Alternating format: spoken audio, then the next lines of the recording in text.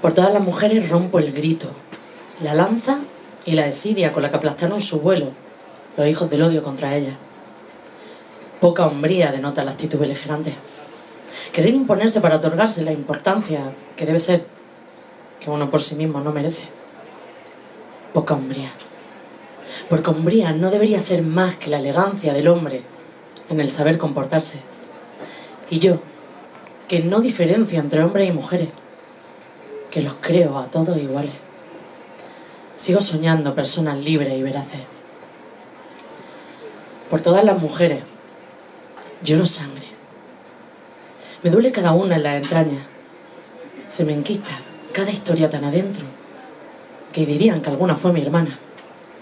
Porque hay noches que no concilio el sueño pensando en la canción que crean sus nombres en algún lugar entre el dolor y la venganza.